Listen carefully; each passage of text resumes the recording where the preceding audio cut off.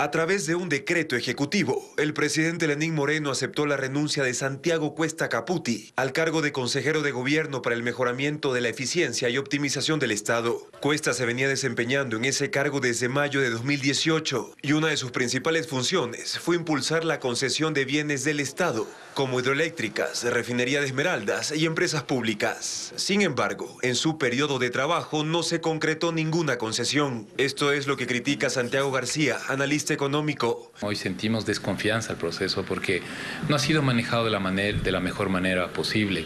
Ha habido anuncios de una parte, ha habido contraanuncios de otra, no hay claridad en lo que se quiere hacer. Además, según el decreto ejecutivo firmado por Moreno, Cuesta ya no será parte del comité para dar seguimiento al proceso de Ahora quedará integrado solo por los ministros de Finanzas, Industrias y Comercio Exterior y Energía y Recursos Naturales no renovables. Napoleón Santamaría, analista económico, cree que los tres funcionarios no generarán un mayor impulso al proceso que dejó adelantado Cuesta. En los hechos nunca existió el comité, en los hechos quien llevó adelante este proceso, entre comillas, de delegación de la Administración de Empresas Públicas a manos privadas, fue el señor Santiago Cuesta. La incertidumbre aumenta porque ambos analistas recuerdan que este año se necesitan ingresos para el Estado de mil millones de dólares por concesiones. Faltando tres meses y medio para que se acabe el, gobierno, el, año, perdón, será muy difícil que el gobierno encuentre estos mil millones que los presupuestó. Ya nos quedamos con esta preocupación en medio proceso que ha quedado construido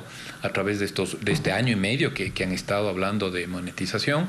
Para conocer sobre cómo trabajará el Comité de Concesiones, solicitamos una entrevista la presidencia de la República. Seguimos a la espera de una confirmación.